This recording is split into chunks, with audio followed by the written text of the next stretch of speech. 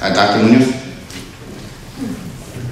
Yes, I support it. Um, you know, if a, if a budget starts lukewarm by the time it's implemented, it's pretty cold. You know, we have a lot of cronyism in Rhode Island's history, and it continues today.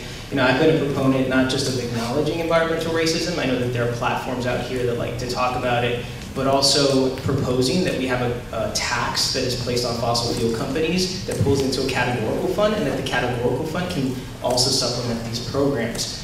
Because sustainability always becomes the question, right? Like, oh, it can't be sustainable, so let's not do it. So let's make it sustainable. Let's push these businesses out of the state if they want to go out and pull the ones that really want to support Rhode Islanders in.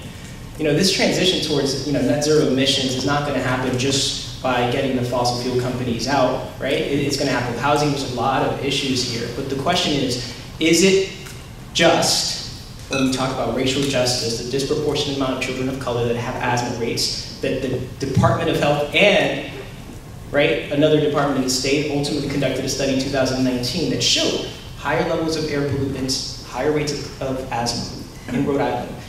Is it just to create a tax that pulls into a categorical fund that supports families for utilities, for healthcare, and for other needs? Yes, it is just. So the question is, what do we believe as a state? If it's all about management, where's the leadership?